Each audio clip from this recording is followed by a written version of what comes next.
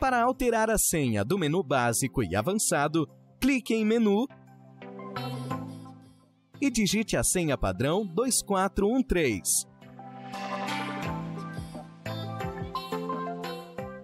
Clique em OK e Avançar. Em seguida, selecione a opção Avançado e digite novamente a senha padrão 2413. Clique em OK. Agora, selecione Opções e avance até a opção 8/9.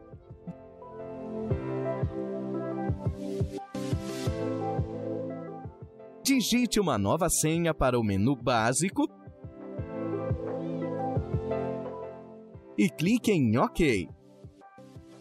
Repita a senha e clique em Gravar. Agora, clique em Avançar e faça o mesmo procedimento para o menu avançado.